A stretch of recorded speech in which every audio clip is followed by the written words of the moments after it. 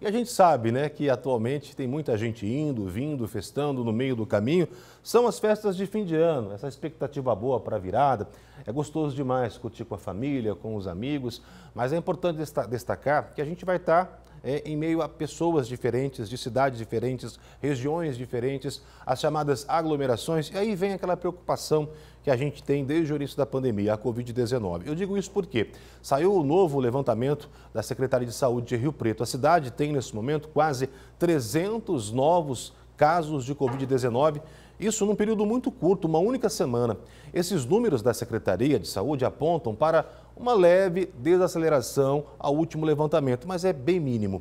A situação ainda é preocupante por dois motivos. O período de festas, como a gente falou, com maior aglomeração, e a cobertura vacinal é o que chama a atenção. Segue incompleta para mais de 200 mil pessoas. Há poucos dias, Sebastião teve a liberação para sair do isolamento. O professor foi infectado pela segunda vez. Os sintomas da Covid-19 foram dor de cabeça, na garganta e tosse. Ao invés de melhorar, foi piorando. A garganta foi ficando mais irritada. Aí, para não tomar remédio de qualquer maneira, eu procurei o hospital depois do terceiro dia. Por conta da gente ser informado que antes do, do terceiro dia não dá eh, positivo, dá um falso negativo, né? Em janeiro, Sebastião positivou pela primeira vez para o coronavírus. Ele lembra que na época os sintomas haviam sido mais agressivos. Ele acredita que não evoluiu para uma piora do quadro porque já estava com o esquema vacinal completo. Eu acredito que o segredo de tudo, né, é, são as vacinas, né? Até porque professor não acreditar em vacina, né, não é professor. A gente tem que acreditar na ciência. Aliás, a ciência está aí para nos ajudar. A Secretaria Municipal de Saúde divulgou na quinta-feira o último boletim epidemiológico do ano. No período analisado, 297 casos da doença foram confirmados, contra 336 da semana anterior. A chegada do período de festas preocupa as autoridades. A recomendação é ficar em dia com o esquema vacinal. Segundo a coordenadora da Vigilância em Saúde, mais de 200 mil pessoas estão com doses atrasadas em Rio Preto.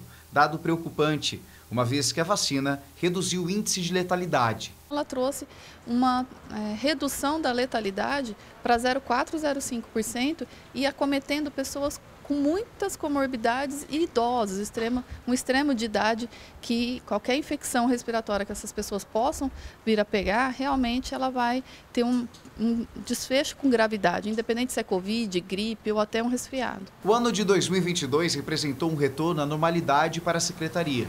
A doença ainda é considerada uma pandemia em todo o mundo. Porém, existe a expectativa de que a Organização Mundial de Saúde possa retirar em breve esse alerta. Foi um ano que nós conseguimos superar né, os impactos negativos que a pandemia deixou em 2020 e principalmente 2021 graças à vacinação. Né?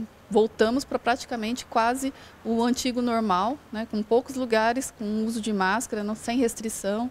Foi, a gente foi conseguindo voltar a uma normalidade, convivendo com esse vírus que logo, né, muito próximo, a OMS pode declarar que não é mais uma pandemia, mas que é um vírus que veio para ficar de uma forma sazonal. Mas, por enquanto, para o mundo, é uma pandemia e ainda em alerta. É, talvez com, como o antigo normal, não, né? Mas começa a entrar numa certa normalidade, mas com cautela, por todos nós, por minha parte, por sua parte, para a gente diminuir esses casos e tirar né, esse título de pandemia.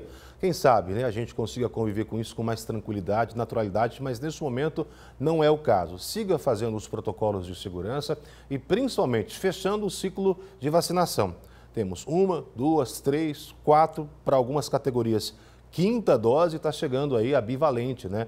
Que inclusive vai vacinar contra esses tipos que a gente já conhece, a Omicron e também suas subvariantes, que é essa que tem mais pegada na nossa região, embora a gente não tenha uma confirmação laboratorial nesse momento, ou seja, nenhuma amostra de sangue foi tirada de uma pessoa e comprovada essa presença, mas os especialistas dizem que essa, essa disseminação né, acelerada, com certeza, é fruto dessa nova subvariante da Omicron. Vamos frear isso aí com certeza.